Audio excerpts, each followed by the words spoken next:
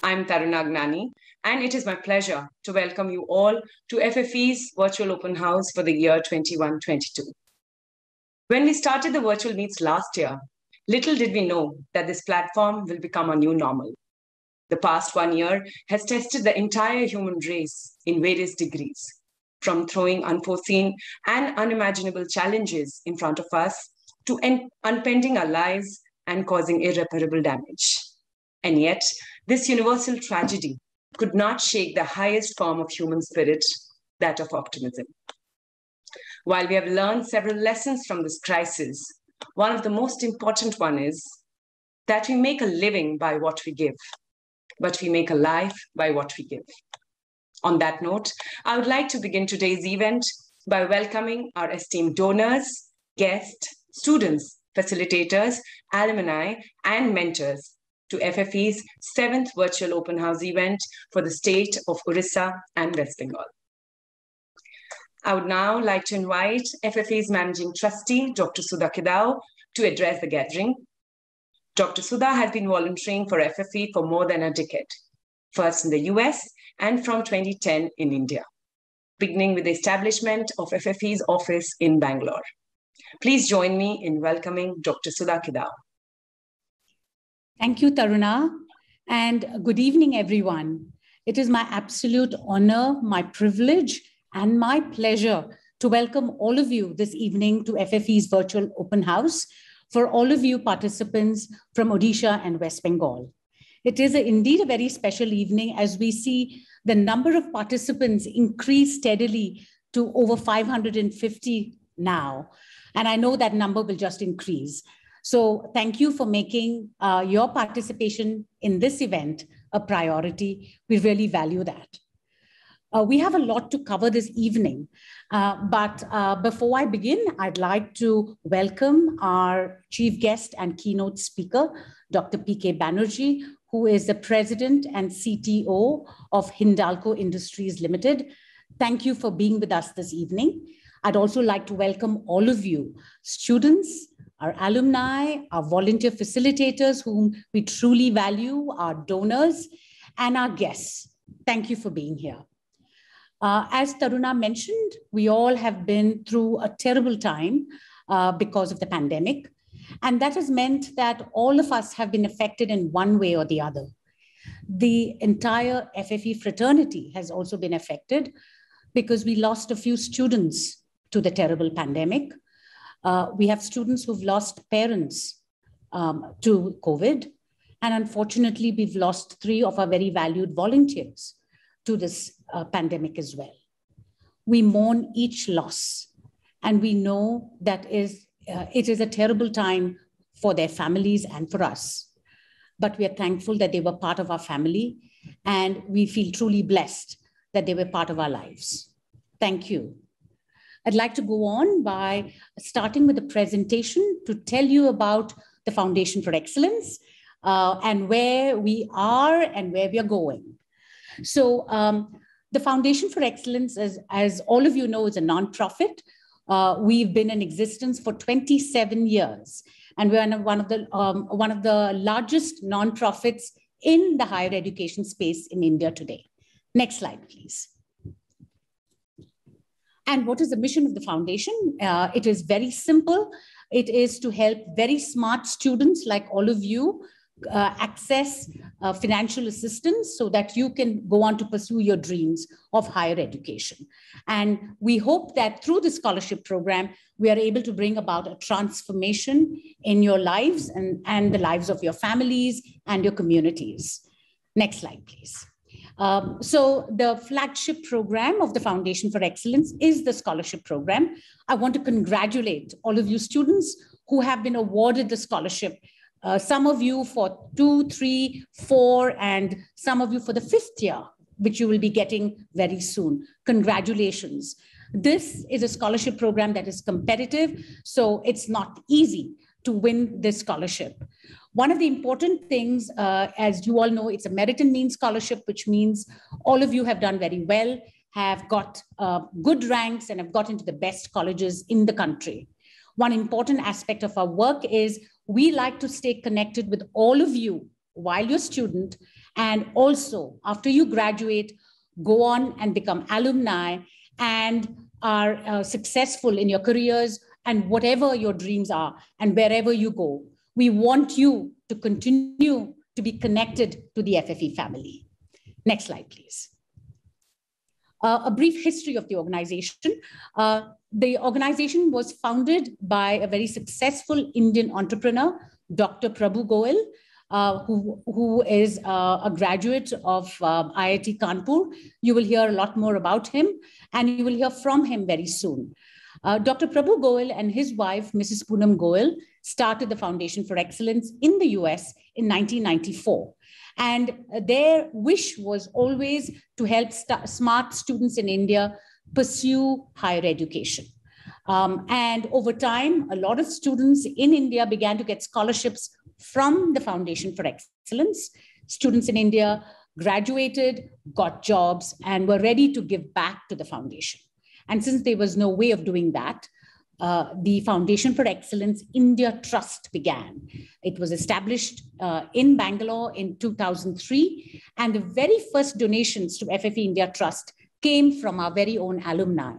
And very soon you'll hear why alumni are a very important part of our work. Uh, over the over time, over the years, FFE uh, has expanded, has grown. Our reach has now in 27 states in India, and uh, we have awarded scholarships to over 25,000 students over the span of the last 27 years. Next slide, please.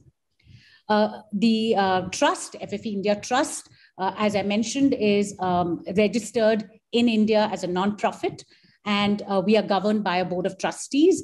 Here you see the trustees uh, who are Dr. Rishi Krishnan, who is the director of IIM Bangalore. Uh, he, uh, we have Smita Uttarwar, who's an entrepreneur from Mumbai, Mr. Venk Shukla, who's the first president of FFE, and Mr. Arun Kumar, who is the CEO and chairman of KPMG in India. We work very closely, the Board of Trustees in India works very closely with the board of FFE USA. Next slide, please. And what does FFE India Trust do? Um, almost all of you students, actually every one of you students would have uh, had a call, um, an email message, a communication of some kind from FFE India Trust in Bangalore. We do a lot of things, and, and, and the most important being the administration of the scholarship program. The national program is administered from our office in Bangalore uh, through a team of uh, 29 individuals a very strong um, and dynamic team. Um, we administer the scholarship program and also the other programs, which is the skills training program, as well as the mentorship program. You'll hear more about that very shortly. We manage the large base of students, the student community. We have a growing alumni uh, community as well, and we have a large volunteer network. We raise funds from uh, donors, individuals, corporates, other foundations and trusts. Uh, we raise money from all over the world, uh, including our alumni. Uh, we conduct events such as this, and we do whatever we can to spread the word about the scholarship program all over the country. Today, we are supported by over 40 corporates, thousands of individuals. We have over 500 volunteers and now a large, over a we'll soon have over a thousand uh, individuals volunteering as mentors. And we're also supported by 15 charitable trusts. Next slide, please. You all know for the eligibility for scholarships. Um, it includes merit and um, income. Uh, we have an income cutoff range.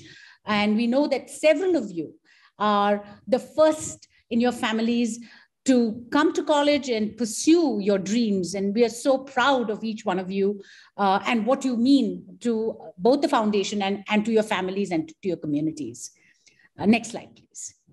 Um, how do we do our work? Uh, uh, we are very thankful to a large group of our volunteers who are all over the country. Uh, today, we have our volunteers, over 60 of them from Odisha and West Bengal who have joined the call. Uh, as you all know, students, uh, every one of you is connected to a volunteer who has met you, who has met your family, and has made sure that you qualify for the scholarship program. So, to all of you uh, facilitators, I want to say we are deeply thankful for all that you do, for your selfless work, for your dedication, and for your commitment to the Foundation for Excellence, for making our program robust, and watertight. Thank you so much. Next slide, please. And where are we today? When you look at this graph, you can see that um, in 2010, we first established the office in Bangalore, and we had awarded 1,146 scholarships. Last year, we were at close to 7,500 scholarships. Today, we are the largest scholarship granting organization in India in the higher education space with presence in uh, 27 states. So we're very proud of where we are today, and we've made it because of the support we've received from all of you who are participating in the call today. Uh, and where are we today? We are at, uh, we've awarded over 71,000 scholarships um, to students uh, over this period of time um, and amounting to over today over 230 crores. So very proud of where we are today. Um, I'd like to now uh, pass on this presentation to my colleague, uh, Mr. Ram Kolavenu. Uh, Ram uh, is uh, the COO of the Foundation for Excellence. He joined us in uh, November 2020. And Ram has played a very important role in streamlining operations, increasing efficiency and productivity of our teams. Uh, Ram is actually an engineer uh, uh, by profession, along with a management degree. And he has worked both uh, with over 22 years of experience, both in the corporate sector as well as the social enterprise space. We're very happy to have Ram with us today, and I'd like to pass on the presentation to Ram. He'll tell you a lot more about where we are going and the plans that FFE has. Thank you all for your attention. And over to you, Ram. Thank you, Sudha. Good evening, everyone. Uh, great to uh, get connected and uh, I see close to 700 of you are there now. So glad to connect with you all. Um, it's been an almost a year now, and uh, I can't. I mean, the journey has been very exciting. And in, in the previous slide, you've seen that we've got almost 7,500 students who got scholarships, and that steady growth in which we are actually increasing the number of deserving students getting scholarship has been very, very satisfying. Uh, go to the next slide, please. I would like to uh, congratulate the and welcome 301 new scholars who have got a scholarship in the last previous academic year for all the hard work you have done to land up in the best possible colleges. Um, so uh, the one thing which I may request you uh, as um, the volunteers, as well as the facilitators, volunteers, and the students, is to start seeing that we have opened up our uh, in, uh, window for uh, the applications. Please spread the word so that more and more such people can get benefited out of that. My one ask, if I can, to uh, to the to our facilitators is to start seeing in if we can get more um, girl students apply for scholarships uh, based on the overall uh, country stand, uh, country average in West Bengal and Odisha, we have less number of girls. I would really like to see this number go up in the coming year. Moving on, I think that I want to touch base on a few things. Um, one of the one of the things. Um, just go to the next slide, please. So, I mean, uh, you can see uh, the spread of our uh, scholars across 27 states uh, West Bengal and Odisha happen to be very, very critical for us. Uh, but I mean, if we get more number of girls students, that will really take us into a different level as well. So um, the couple of things which I want to touch base today, and uh, actually one of the things which differentiates us from um, our different scholarships which are available. The first one happens to be uh, the beyond scholarship. It is just not about the kind of uh, scholarships which are financial scholarship which you're getting. Uh, some of you who are in the second, third, final year, and fifth year of uh, your studies have been going through different stages of this journey. What, what we've done um, in about six years back is what we realized that there are certain gaps which exist from what is being expected from the industry and, and the kind of thing which we actually start learning from uh, in our college, as well as with the kind of a background which we are coming in, three-fourths of us coming in from a rural background, to be able to bridge that gap uh, along with IIM Bangalore. We've worked out a, uh, you know, a pro program which is a wraparound for your college, specifically for engineering and now for uh, B Pharma and law students as well.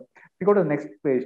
So the, what we have done is to actually bring in the differentiating factors. Uh, at the end of the first year, you, we are doing a baselining of uh, where you are from English, analytical, quantitative, and put you through various different programs. And as you progress in the third year, uh, get you exposed to different technical courses which are not being taught across different streams. And uh, and also uh, um, in the in the third year, we are bringing in a mentoring program, uh, and also as a fag end of the third year, getting you ready for uh, your in, your um, job interviews and so on and so forth. So I think what here now we have two uh, cohorts of students who have actually gone through this journey and the results have been astonishing.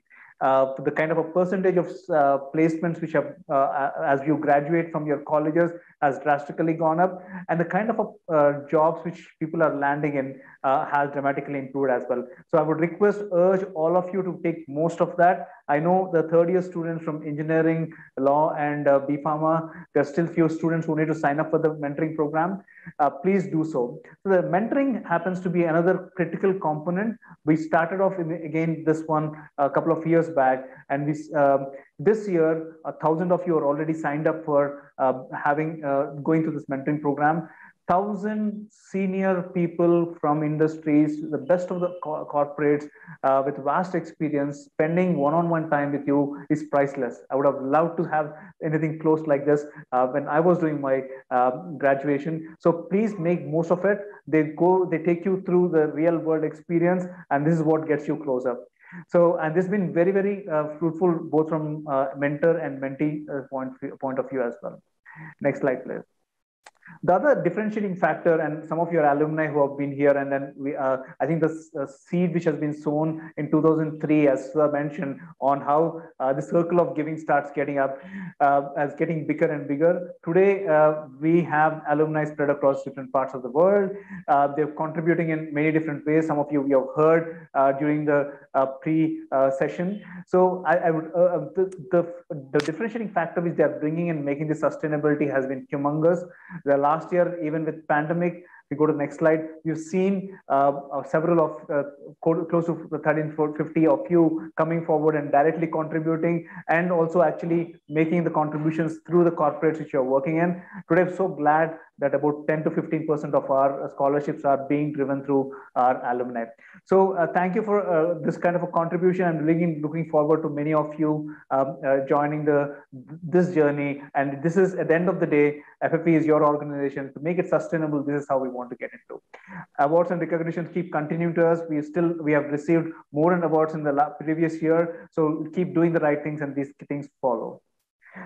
More, so we've added a few more corporates last year, and early into this year, we have seen a few more big names coming in there as well. So I'm so glad, thankful to the, some of the donors who are part of the uh, journey today, and you know, uh, I really uh, thank uh, both the corporates as well as uh, some of the foundations which are really doing a tremendous job in helping us to help you uh, in getting those scholarships.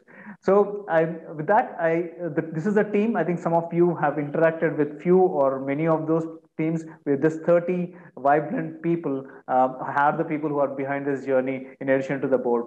So with that, I'd really uh, take a break here um, and thank you. Enjoy the rest of the session and we'll connect at the end of the session with question and answers. Thank you, Sudha. Thank you, Ram.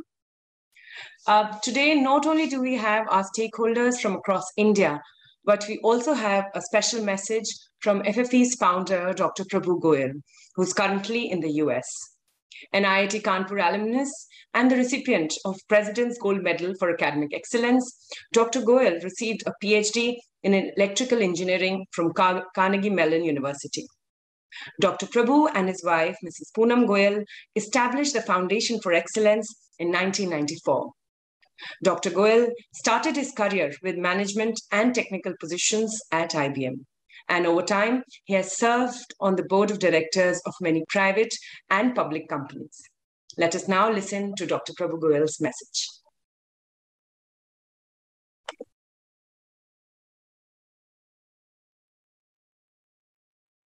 Hello, everyone.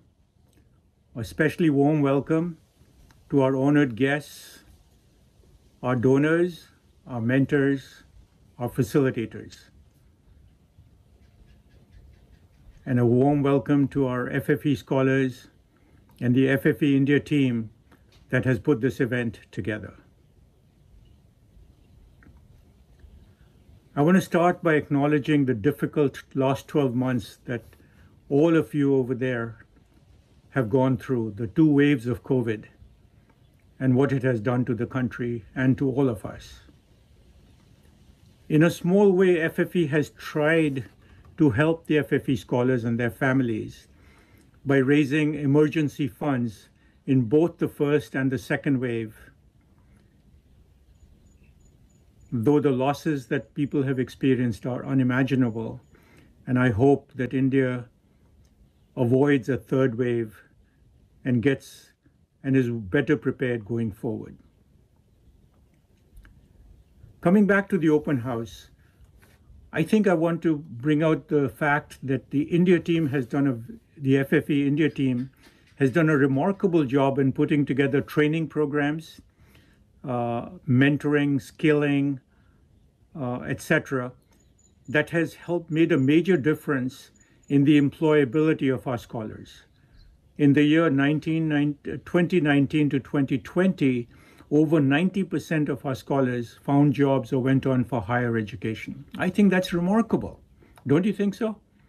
And this year, from 2020 to 2021, the employment rate is significantly better than what one would expect in this time frame. And I think we expect to do as well as the prior year.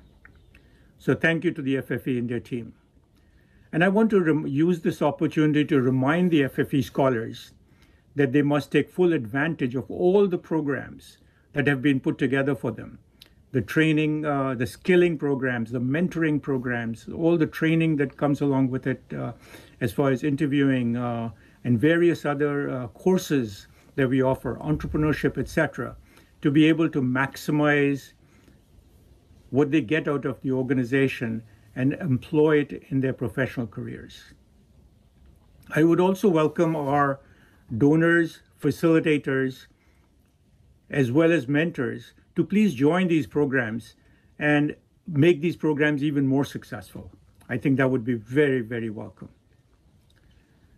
I want to also point out that the FFE scholars and alumni have done an incredible job in the last 12 months, or the previous uh, 12 months, 1920, in raising funds from their corporates and it's almost it's almost they have doubled the amount of money that they raised in a single year from the year prior.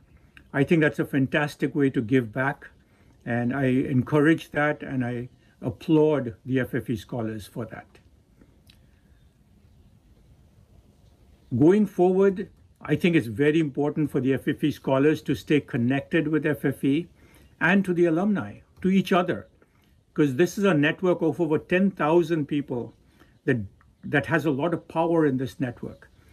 When you work with each other, you can actually be thinking about taking advantage of this network for getting great advice, for finding new jobs, references, uh, uh, references to job openings that might be out there, uh, references to uh, career counseling, uh, new opportunities that you might be looking for, because this is how the network works people in the network are very valuable because there's no other way you can get this kind of information and advice. So I would strongly encourage you to stay connected with the alumni network and leverage it and give into it as well. Again, I would like to end by saying I hope you all have a wonderful open house today. And I thank all our guests for being here to make this event successful. Oh, right. And I hope our FFE scholars go back and say it was very worthwhile. Thank you.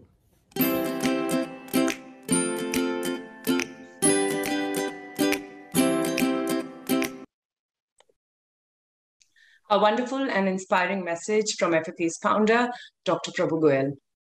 I request the participants to please use the Q&A box to post any questions that you may have. We'll have a Q&A session at the end of the event. Also, also an appeal to all the scholars and alumni to stay connected to FFE through our social media presence on Facebook and LinkedIn. The links are being posted in the chat box.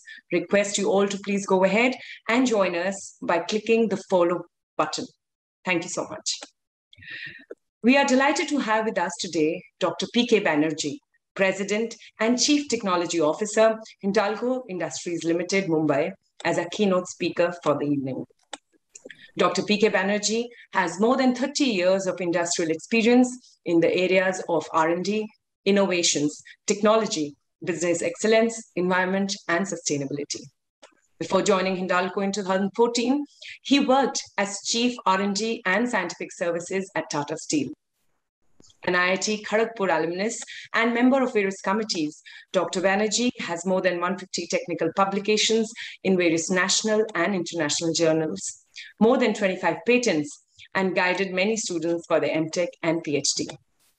Dr. Banerjee is recipient of many awards like Excellence Award from Metal Asia, Metallurgist of the Year 2009 from Government of India, to name a few. Please join me in extending a warm welcome to Dr. Banerjee. Over to you, Dr. Banerjee.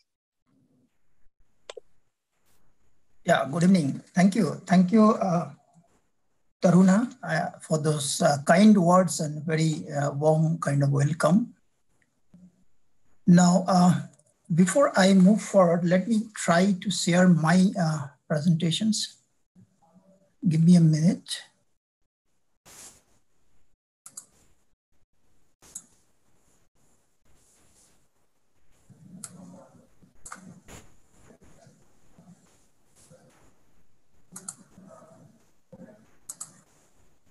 Uh, can you see my presentation? Yes, we can. Dr. Banerjee, we can see.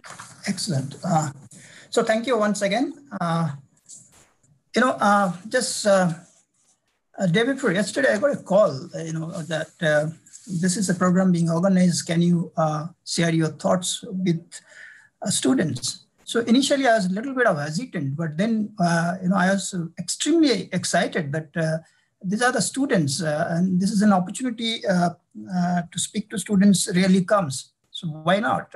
So I just readily accepted. And today I must say that I feel privileged. In fact, I feel uh, honored to be part of this program and share some of the thoughts.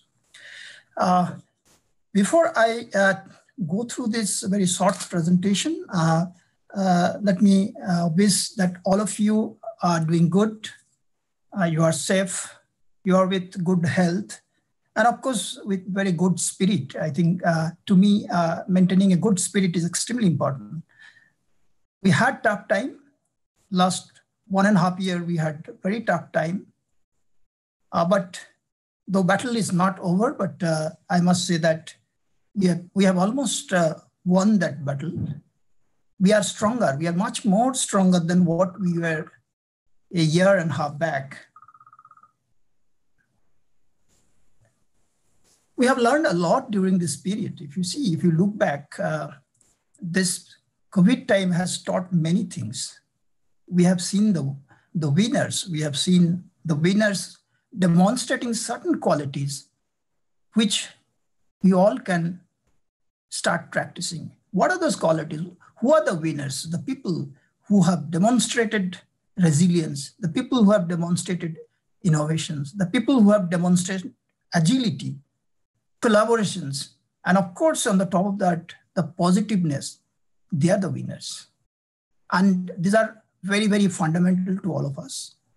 We can keep building our career, our activities on those fundamentals. And if we keep doing that, we'll also be the winners. And keeping that in mind, keeping that learnings, you know, over this uh, last 18 months, I thought that why not talk on the topic, the digital mindset, which also needs those qualities. So keeping that background, I was just thinking that digital mindset, a key to the digital transformations, the topic is very, very relevant to the students, the engineering students, the medical medicine students, or even the students from the law and other areas. This is relevant to all of us. Because when we look back, when, when we look back to the world, see the changes, what is happening. The whole physical world is now shifting towards a digital world. And these shifts are happening very fast, very rapid. See the examples. I'll, I'll, I'll share a few examples. Just see what has happened. March 2020 versus today. The classroom has shifted to a virtual classroom. but the entire excitement is, has not been lost. It's there. Students are learning, enjoying, having fun. The whole things have only shifted from one form to another. Another case, it's a very typical case in industries, you know, the storeroom management. You just see managing items in a storeroom. We used to have a supervisor, a manager, and a worker. But today, the whole thing is managed by a robot. It is controlled from distance, and the whole thing is managed very efficiently by a robot. See on the top, the whole social media, the friendship, the way we used to have our friendship has shifted.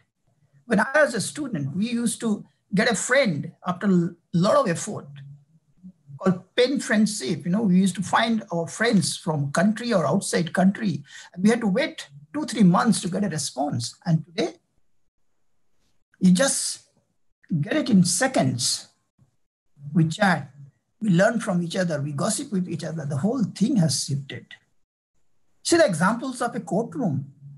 The whole dramatic and excitement which was happening inside a courtroom has now shifted to a virtual platform.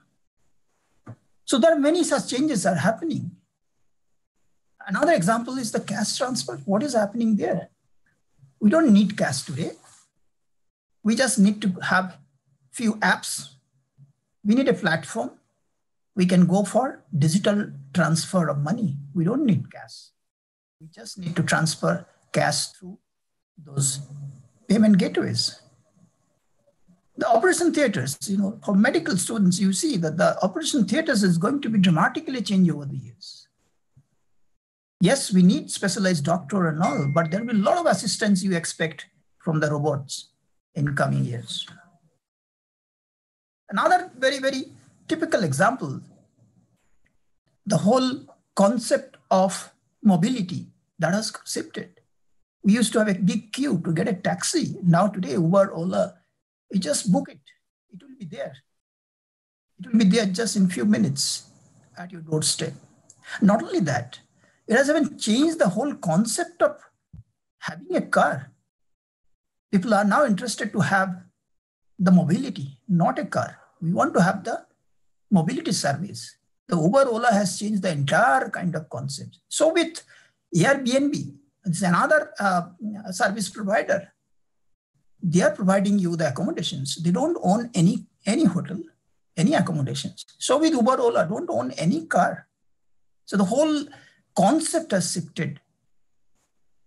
See at the bottom, we don't need to go to mall now for purchasing and all what we can do. We can just do everything through e-commerce. And not only that, the entire supply is also now controlled by drone. See the changes, what is happening world over. So the question is why these disruptions? Why is this transformations is happening so rapidly? And this, this is because these disruptions are uh, very, very good for the growth. These disruptions is creating happier and more satisfied customers. These disruptions are helping the workplace evolve and improve. The overall efficiency, effectiveness is improved. The cost of making or producing something is coming down. So, so many advantages, so many benefits are coming out. Then why not? Why not embrace it? Why not go for it? And that's what exactly happening. If you don't embrace it, if you don't adopt those things, you will be the loser. You just see the example of Kodak. They are the leader in mainstream photography. We couldn't think anything beyond Kodak films. Just in few years, they went bankrupt. And that's because they didn't see the change happening around. The entire digital photography was coming so fast. They didn't see that change. And so they went bankrupt. Dr. Banerjee, I'm so sorry to interrupt, but just wanted to check, um, uh, are you, are the slides moving? Because we can see just the first slide. Seems... Um... Uh, I, I can see the changes on my screen. Yes, but uh, it seems it's not visible on our screens. Okay, let me, let me once again quickly uh, go to uh, this and uh, share once again. Yes, please. And if you can do the full screen, then maybe that would help. Yeah, I'll, I'll just I'll just see that. Uh, so you are not able to uh, see my screen yet. Well, we can see the screen, Dr. Banerjee, but it's not moving. The slides are not moving ahead further. We can just see the first slide. Just give me a minute. Uh, uh let me let me see because it was moving in my end.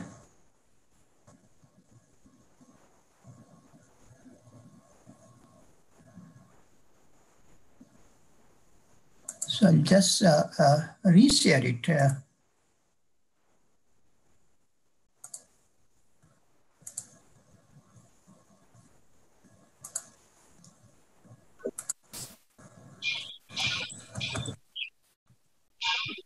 Yes, now we can see Dr. Banerjee.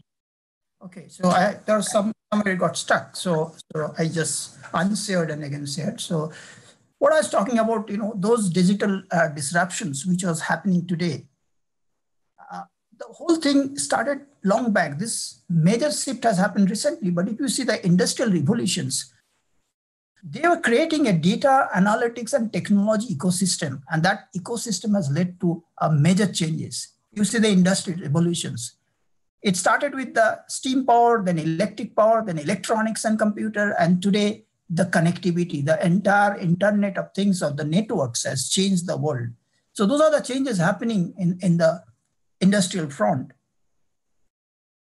So the question is that you know all these entire digitalizations, what are the what are the steps? How to go about it? How these things are happening? It's a journey. It's, it's a journey. It's not just one step or one, one kind of action. It's, it is multiple actions, multiple steps. So it has three steps or the three phases. When somebody is going for this digital journey, it has to pass through three phases digitization, digitalizations, and digital transformations. Hmm. the initial stage are the stage of digitization. The entire information and data is captured in digital form. That's the first step. You have to convert your information into digital form. But the second stage, digitalization is extremely, extremely important. What to do with that data? What data speaks? What insights you get from that data? What conclusion you are doing? What action to be taken? That's important. And that's done in the step two. And finally, we talk about the digital transformations, where we talk about the entire business, because in the entire business, it's not just one function. You have multiple functions. For example, in an industry, we have operations, but at the same time, we have supply chain, we have the procurement process, we have the marketing process, we have the HR process, logistics. There's so many functions, they are interconnected. So once you look from totality, the entire digital movement can be transforming the entire business because at a given time, on a real time basis, they see how the functions are speaking to each other, sharing knowledge, and trying to help the overall business to gain the performance. So that's that's what is the ultimate target. So digital transformation is extremely important. And to achieve that, what is necessary? And I was talking in my title of the presentations, what I was talking about is the mindset you have to have a digital mindset. Digital mindset is not just that you know certain tools or techniques. It's not that I know Python programming or you know I am very good at Facebook or Instagram or certain tools, statistical uh, tools. I, I'm I master. Those are basic basic necessity, but that's not sufficient. You have to appreciate that you are in a different journey. You are you are in a journey of transforming something big. So you need to you need to be ready to accept those changes. You have to go for experimentations. You have to come up with new ideas. You have to collaborate with your friends. You have to learn from each other. So there are many things you have to do. It's no longer a one man kind of job. It is a team's effort, and you have to prepare for that. And that's that's when you can achieve the digital transformations. And during this digital journey, you have to keep focus on four key areas. Of course, you have to focus on smart, safe, and sustainable workplace. You need very efficient supply chain because in any process, you have inputs, you have outputs, you have process intermediate products. So entire value chain has to be looked into. In aluminium, we, we, we start from the mines, we get raw materials, and at the end, we make aluminium product which can go for multiple application, including making a car.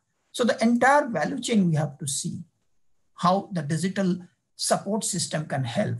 Of course, the third one is the digital savvy workforce. It's extremely important, which I was talking, and my entire uh, uh, talk today is focusing on that. We need a workforce. Not only they understand the digital technologies, the tools and tackles, but also they have the right kind of mindset.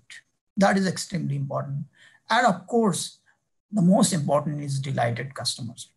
You need to see you have understood customer requirement you have understood what you are delivering to them the quality of service of the product you are delivering and of course their feedback what they expect how you can delight them that is the major focus areas of the entire digital transformations and one of the enabler has happened over these years i was talking about the computing technologies has evolved very very significantly looking back in 70s there was mainframes there was only a big room, big computer, and everybody be going there to get things done.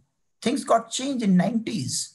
Then came the personal computer. You have the local uh, server, on-premise, all the facilities. Then 2010, suddenly it went to the cloud. That means external uh, server somewhere at a distance. You send your data to a external uh, cloud, and all the computation is done there, and the results come back to you. But then further change happened recently. Why not? Why to send so much of data, huge volume of data to a computer, uh, to the cloud? Why not the reverse way? The computer goes to the source of the data and compute and do some analysis. That's the edge computing is happening today. So you can see the evolution is taking place, which is making this digital transformations so rapid and so fast. And there are basically five enablers. And if you see, the entire digital journey starts from the top management, the leadership. The leadership has to be convinced they need to start the ball rolling. And once they start, and once they identify, the second enabler is what are the focus areas? What needs to be delivered? Who are your partner? And then, of course, the key or the center is the people. Other people are aligned? Have they understood the need? Have they got the right kind of skill? So all those has to be addressed. And then the fourth enabler must be the, the, the projects.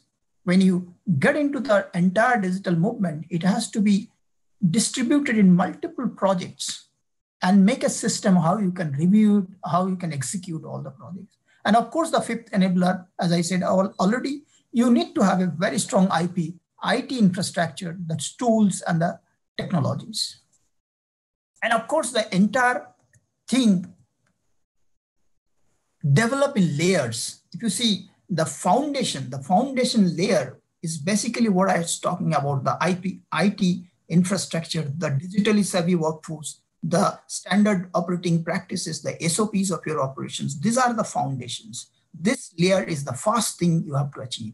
And once you have, you can focus on data once you have the system, you start capturing data. You, you need a ERP, you need sensors, you need historian. Even you can have, uh, have to get some data from external sources. So data acquisition is the second, and then the next layer of activities will be doing the reports and data visualizations. You have data, but you know if the data is too big and too voluminous, then that may not be very useful. You have to segregate. You have to say that which data for what purpose for different layers, different uh, level of people needs different kind of uh, data. Different applications need different kind of data. So data segregation is extremely, extremely important. And then comes the analysis of data.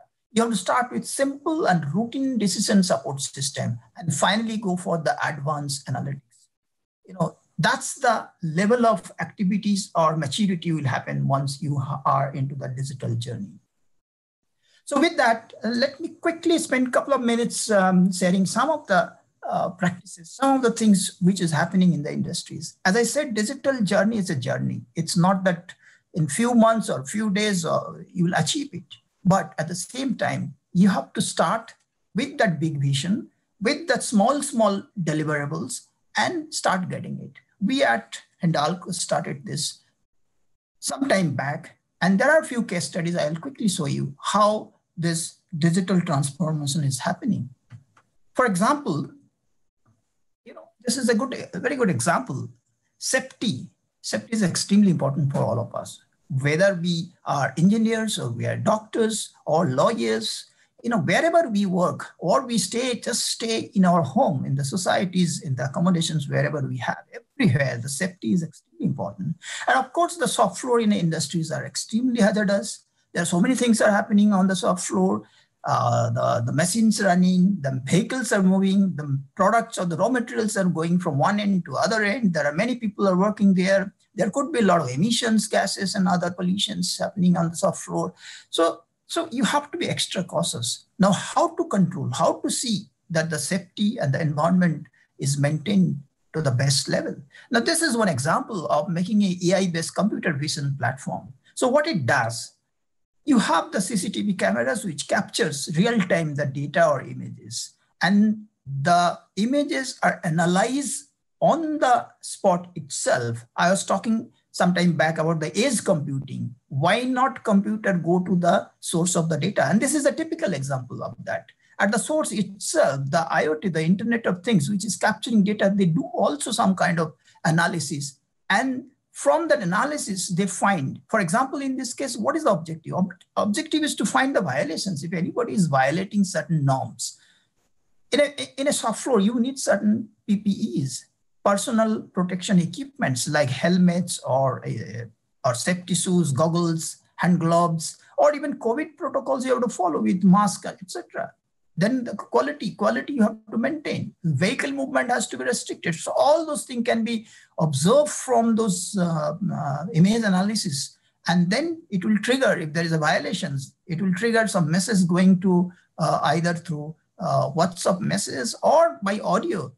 You know, it can go for voice and people will be alerted there is something going wrong. And this is implemented and it's really giving a lot of uh, benefit, improving the safety performance. Another interesting example of connectivity. I was talking again. I'm sorry to interrupt you. This is Ram here. I know the paucity of time. Is it? Uh, I mean, this is fantastic information and very, very useful. Is there a way this can be shared? We can actually, uh, uh, uh, you know, share it with our uh, students as well offline, so that they can get benefit out of that. I'm unfortunately uh, because of the paucity of time, we may need to wrap this one up. yeah, yeah. Sure. Yes, yes, yes. I can share this. I'll definitely. that's no issue issue in sharing that. I'll, I'll share later on. And uh, I'll come to a conclusions because I have more or less uh, given examples. And this is uh, just last uh, example. See, connectivity I was talking about, you have to connect and you have to collaborate, you have to share knowledge. And this is a very interesting example that you have the multiple plants, they got connected in a, in a platform where they're sharing knowledge and helping each other.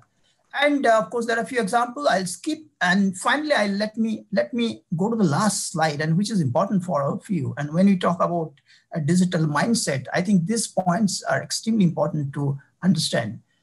First of all, is the digitization, digitalizations, and digital transformation. These three you must be very fully familiar with, and these are the steps one has to follow. And then I also mentioned about the small thing, you know, you start with small, small achievement. Don't wait uh, that the big thing happen. Big thing will definitely happen, but you have to start with small. And continuously you will getting the results and you will have the confidence of your people. Then, of course, the data is extremely important. Have the authenticity of the data, have the data ready for uses. Of course, you get ready for the reality. You know, you know there is some surprise you'll get on the real-time data. Are you prepared for that? That's extremely important for us.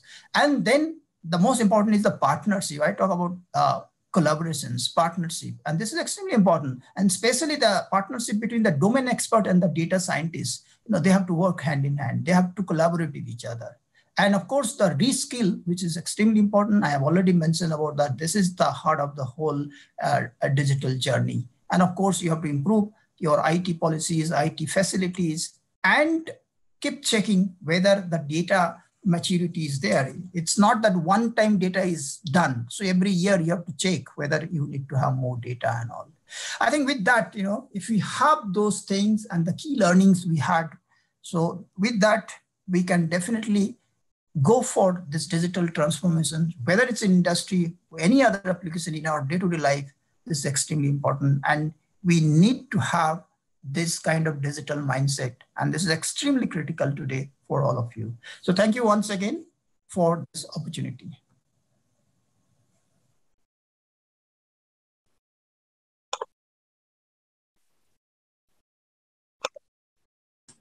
Thank you so much, Dr. Banerjee. Thanks a lot. Um, um, thank you, Dr. Banerjee, for this motivating and inspiring message and for your time to be with us this evening. AWU, a World of Opportunity Foundation, has been supporting FFE since 2015 through the scholarship program, benefiting over 1,200 scholars. And we are extremely grateful for this. We definitely hope this partnership grows and strengthens in future. Thank you once again. Thank you very much. FFE has been extremely fortunate to be backed by a team of highly uh, motivated and dedicated facilitators who have been helping FFE through their tireless efforts and voluntary services. Today, we have with us two video messages from our facilitators, Dr. Lakshman Ghosh from West Bengal and Dr. Saroj Kumar from Odisha. Uh, can we have the videos, please?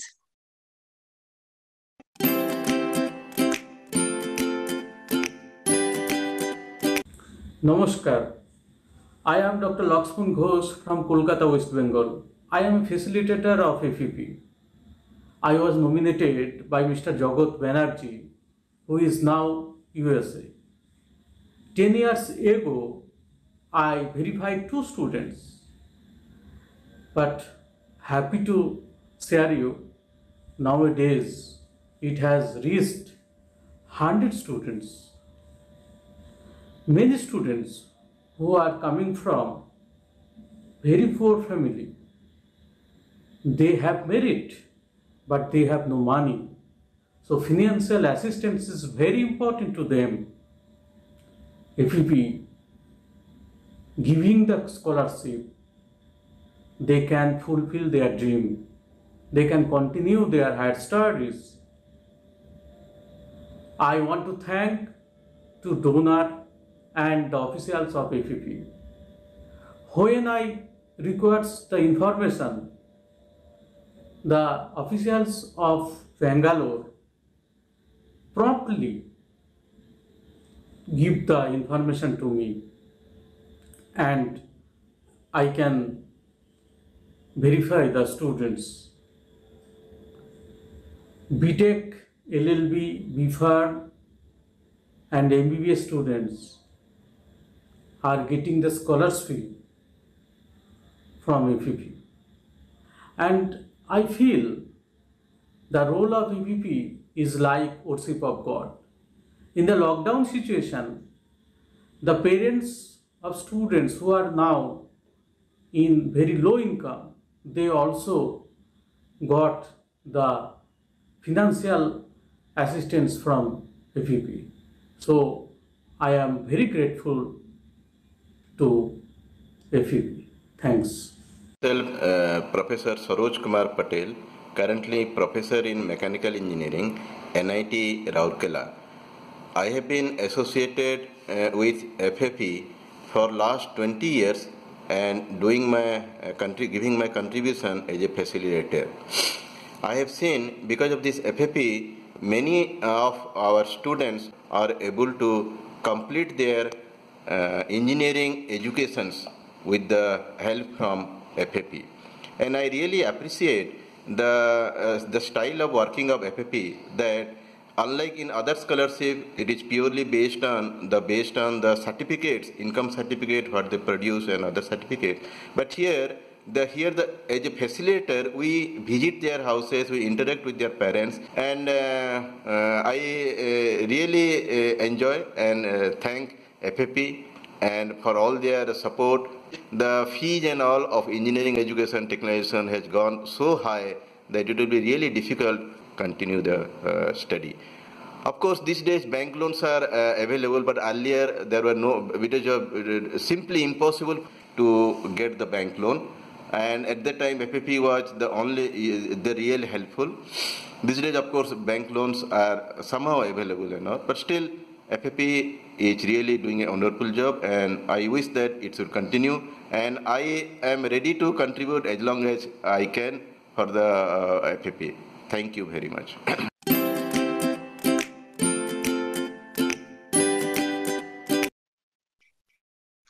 Thank you, Dr. Lakshman Ghosh and Dr. Saroj Kumar for your wonderful messages. We are in fact grateful to each one of our facilitators who are the backbone of our organization, and we are glad to have some of them with us here today. Let us now take a look at all our facilitators from Odisha and West Bengal.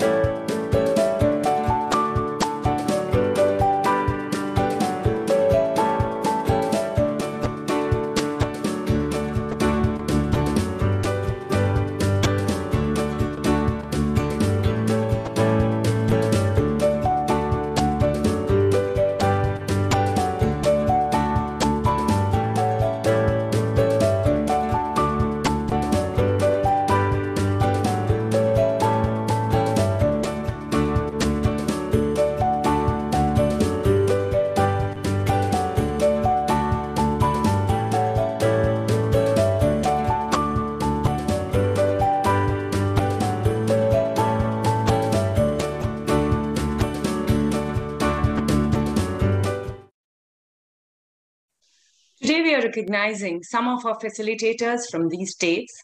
I would request you all to please join me in congratulating them and cheering for them by sending messages on the chat box as their names are being called out. I would now request Dr. Sudha to take over, please. Uh, thank you, Taruna. Uh, today, on behalf of the Foundation for Excellence, I would like to thank all of you volunteers who have done tremendous amount of work for FFE.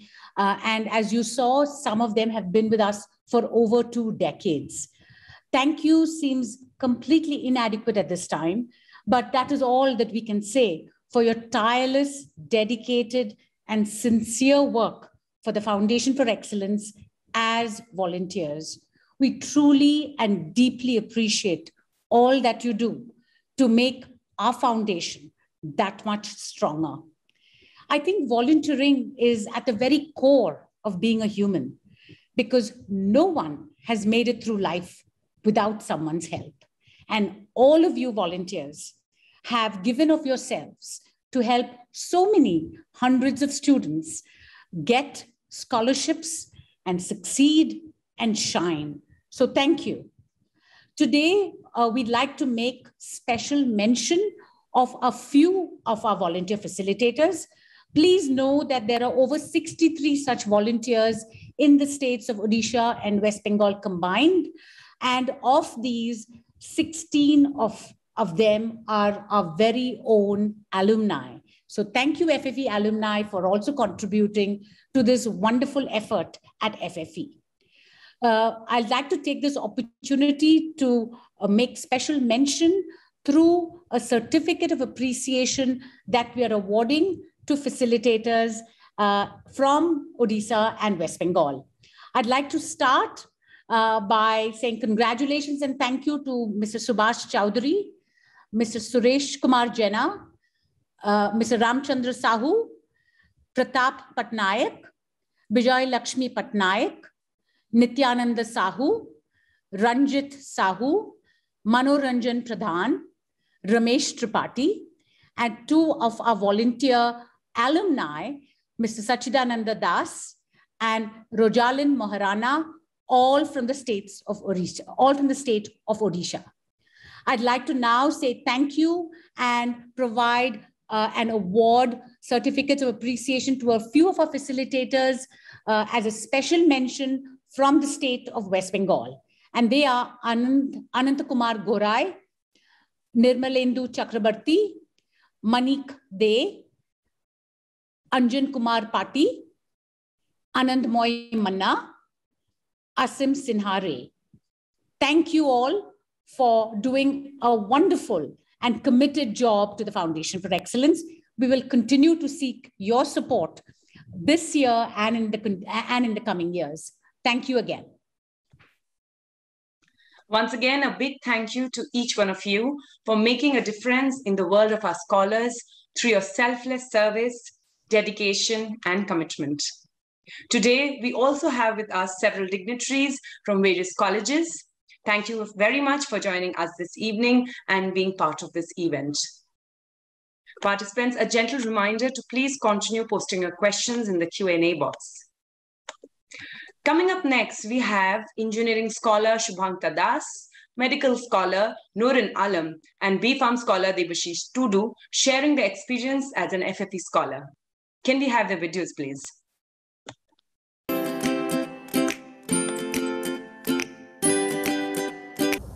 Hello everyone, good evening. I am Norin Alam, a second Prof MBBS student in IPG Mayor in SSKM Hospital. I am from Purba Bardhaman, West Bengal. My father is into agriculture and my mother is a housewife. I scored 90% in both my board exams. I cracked NEET 2019 with an All India rank 11,867. I want to become a radiologist in future. I was introduced to FFE by one of my friend who herself is an FFE scholar. My facilitator Laxman Ghosh sir helped me a lot in this regard. After getting admitted into my college, I was worried about the expenses of medical studies and how much pressure it was going to create. FFE not only has provided that economic assistance but has built a responsibility in me to serve back the society. FFE also conducts webinars where we get chances to explore various topics of medical field as there are experienced doctors delivering them. I would like to take this opportunity to thank Team FFE and my donors, Sandeep Sen sir and Sagarika Sen ma'am. I would also like to thank my facilitator, Laxman Ghosh sir. Thank you once again, Team FFE. Hello everyone. I am Subhakandas from Odisha. I am currently studying in the third year of mechanical engineering at NIT Rourkela, Odisha. I have a six membered family that includes my grandfather, my parents, and my two sisters. My father is a farmer and my mother is a housewife. I have secured 94.6% in my 10th and 86.5% in my 12th. My current CGPA is 9.19. Besides that, I am a member of a technical club named ASME in my college and my hobbies include watching and playing cricket. I came to know about FFE from one of my college seniors. Fortunately, I got selected by FFE after my selection in FFE, they not only helped me financially to pay my college fees but also guided me to improve my skills through various webinars, skill development programs like Enguru English, AMCAT, and FACE preparation. So I would like to take this opportunity to thank Team FFE and my donor AWOO Foundation and my facilitator Ajay Patnaik sir. So one day I would like to come back as a donor and contribute to Team FFE to help other students in their study when I am settled in my life. Thank you. Hello everyone. Hope you all are doing well. I am Devashish Tudu, third year BPharm student from Jadavpur University, Kolkata. I am from a rural village in Bankura district of West Bengal. My father is a farmer and my mother is also engaged in agriculture. After my 10 plus 2, my family was getting getting it difficult to fund me in my studies and to fulfill my ambition of becoming a medical inspector. At the college, I got to know about FFE from a senior and it has helped me a lot. FFE has lightened my financial burden. Apart from scholarship, FFE also provides skill development and training program like English communication in Enguru application. For this all, I would like to thank my donor, Mr. Chirag Patel sir and Mr. Kanu Patel sir, my facilitator, Mr. Laxman Ghosh sir and the whole FFE team for such valuable assistance. In the future, I would wish to contribute to FFE. Thank you.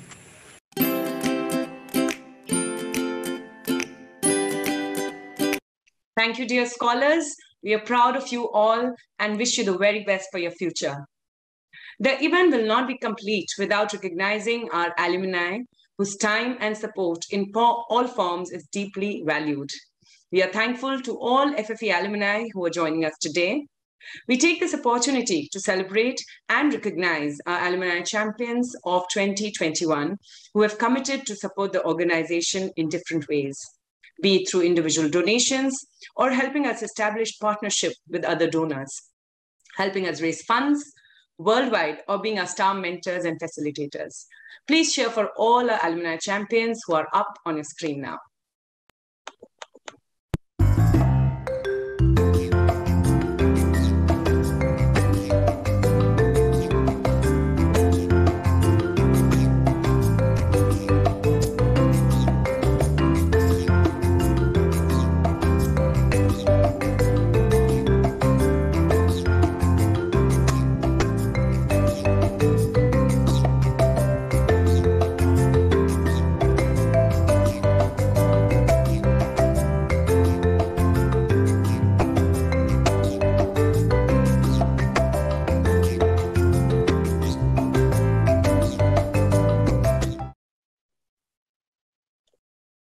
A big thank you to all our alumni champions for your commendable efforts.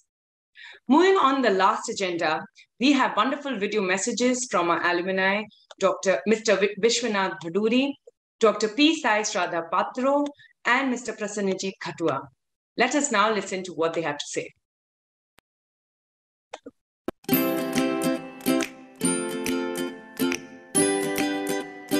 Hello, how are you all? Greetings to everyone. I hope all are keeping safe themselves in this current scenario. Myself, Biswanath Bhaduri. I completed my Bachelor of Technology from Jalpaiguri Government Engineering College in Electronics and Communication Engineering stream from 2013 to 2017. During this tenure of my undergraduate course, I was an FFE scholar as I lost my father at very early stage of my life and belonging to a rural place in West Bengal. Even though I completed my secondary and higher secondary education with underlying support from my school teachers, but it was very difficult for me to continue higher studies, that too in the engineering field. Hence, this scholarship from FFE immensely supported me to pursue my dream of becoming an engineer not only by the scholarship amount, but the mentorship programs from FFE also helped me as guidance in various stages. After finishing my bachelor's, currently I am working as an R&D engineer in Synopsys, which is an US MNC and renowned as world leader in automation and intellectual property maker. Along with FFE and many others, I also believe in circle of giving so currently I am also contributing to this noble cause by every means possible as alumni or as facilitator. My message is to the student study well and be proud of being part of FFE. To the recent alumni, please do your part to make FFE a grand success year on year. To my donor and all members of FFE scholarship teams, thanks for continuous support. Good afternoon everyone. I'm Dr. P. Sai Patro. I'm currently working at AIIMS Bhubaneswar, Odisha. And I came to know about Foundation of Excellence when I was studying my plus two science in Khallikote College. And I was aspiring to be a doctor, but I was finding it hard to pay for the tuition fees and all for coaching classes. So I then was looking for a scholarship which and was guided by uh, Mr. Suresh sir who was a mentor and uh, I came to know about this foundation and got a help really at that crucial point of time. And I have seen many such uh, scholars who were from poor background getting help from this foundation. And I continued to get the help during my MBBS course also.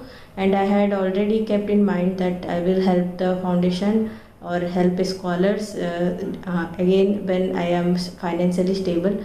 Now I am I am married to a doctor and uh, my fam I'm doing a job and my family is supporting and uh, I'm financially stable now. So I am again from two years I am already contributing to the foundation because I know many uh, such needful people are there who who are good students and want to uh, achieve something in life and uh, this foundation really helps so i uh, urge everyone who was a uh, alumni of this foundation to contribute to the cause and uh, keep the cycle going. Thank you. Hello everyone. I am Prasannajit Khatwa from Odisha. I passed out BTech in electrical engineering uh, from IGIT Sarang in 2012. After that, I joined Larsen and Toubro and I served there for eight years. Uh, since last year, I am working for Indian Railways at Calcutta.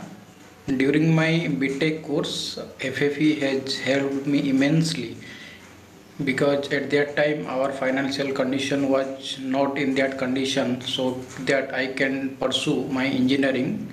So at that time it has helped me a lot and I strongly believe that uh, if someone has helped you in your need time then we must help it back. So for this I continue to help other students by FAP and I request you all to help our fellow students so that they can fulfill their aspirations in life. Thank you FAP. Thank you all.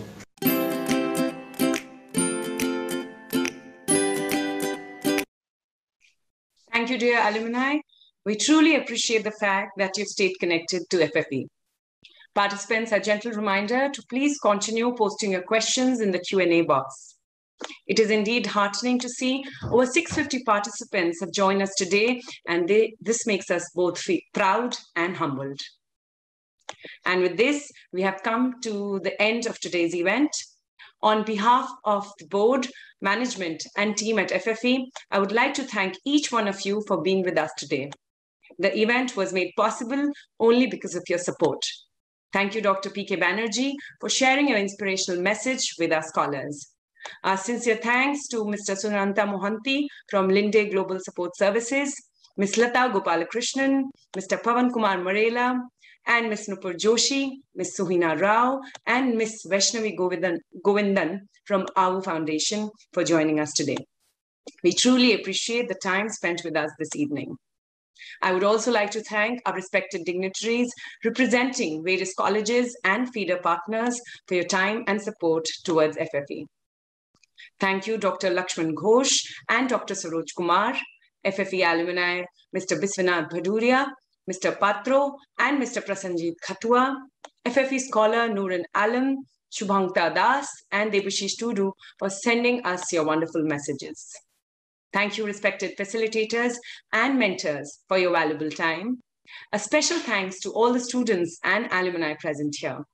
And last but not the least, thanks to FFE's management for, for their continuous support and to FFE team for organizing this wonderful event. Thank you all once again.